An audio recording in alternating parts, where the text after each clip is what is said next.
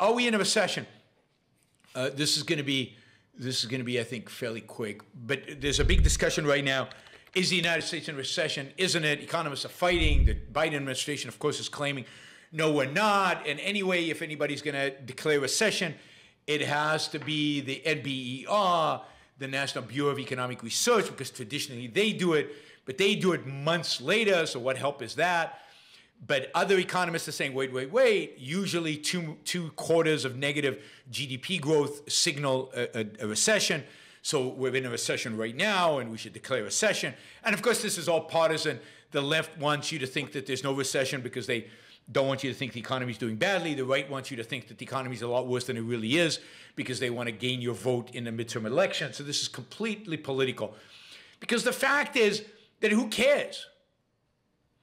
Um, are we in a recession? Probably not. If we are, we're in a very, very mild recession.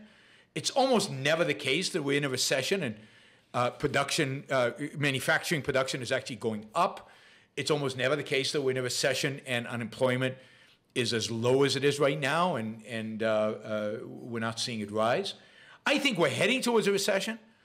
I think all the uh, the the the signals are pointing towards things getting worse the economy getting worse. I just don't think we're probably in one right now. We're, we're probably heading towards. There's a good article by uh, one of my favorite economists these days, Scott Lincicome, um, on this, and it basically is a recession, recession, recession, recession. We're wasting time fighting about definitions instead of working for solutions. He's absolutely right. Uh, we've got we've got a recession. The recession is being caused by constraints on supply, which means by by over by regulation. Um, the recession is caused by too much government spending, which is uh, increasing inflation expectations. Inflation is going to be caused by the stupid bill that Manchin has agreed to, which they're calling what is the, the, the, the Inflation Reduction Act. But it's actually going to be an inflation increasing act because all the spending is front loaded. All the spending happens right now. The taxes come later. You could argue that raising taxes reduces inflation, maybe, uh, but not if you increase taxes in the future and you spend right now, so it has no impact. No, it has an impact. It increases inflation because it increases the amount of spending in the economy. GDP generally, you know, they talk about two negative quarters of GDP. GDP numbers are not very good numbers. They overestimate things like the difference between imports and exports in a kind of in a in a I don't think in a helpful way. It the way it calculates government spending, so-called government investment, all of that is fakery. So GDP are not good numbers to estimate economic growth.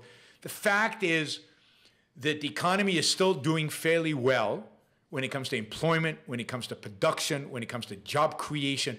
The economy is doing fairly well, but all of those things are slowing, and there's significant indications that things are going to get worse. I'd also say that there's significant reason to believe that inflation is not going to get better, or if it gets better, it won't, it's not sustainable. That is, the Fed is being too timid. And uh, until the government gives some kind of indication that is interested and committed to reducing uh, government deficits, uh, I, I, inflation expectations, I think, will remain uh, relatively high. Um, so uh, this Inflation Reduction Act, which hopefully, hopefully Sinema will kill, Sinema will kill, Senate to Sinema from Arizona will kill, is a disaster and terrible uh, for inflation. So is the CHIP Act.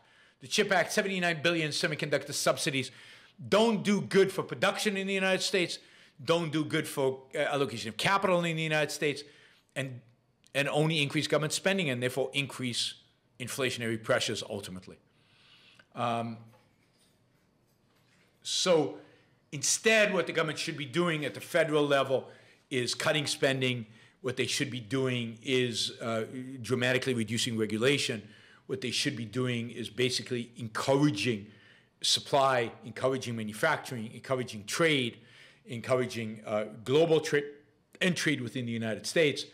Um, they should be getting out of the way of consumers and producers. That's how you reduce uh, the probability of a recession. And, and at the end of the day, recessions matter. What really matters is not the definition of recession.